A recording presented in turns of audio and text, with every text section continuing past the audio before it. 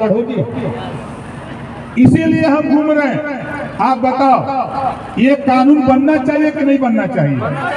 कितने लोग चाहते हो कि बनना चाहिए। हाथ उठाओ। ये कानून बनना चाहिए। अब दूसरा, दूसरी बीमारी देख लो।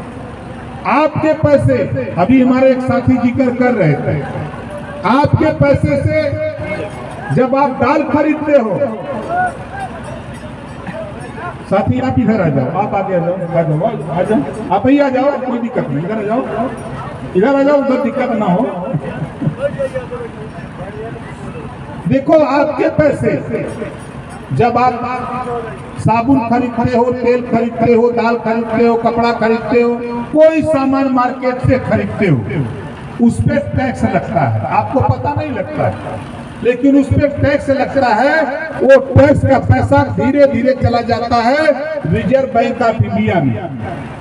वहाँ जाके जमा होता है तेरह दस रुपया, पाँच रुपया, दो रुपया, वहाँ खरबों रुपया इकट्ठा हो जाता है 140 करोड़ आबादी का। जब वहाँ जाके जमा होता है तो खरबों रुपया होता है।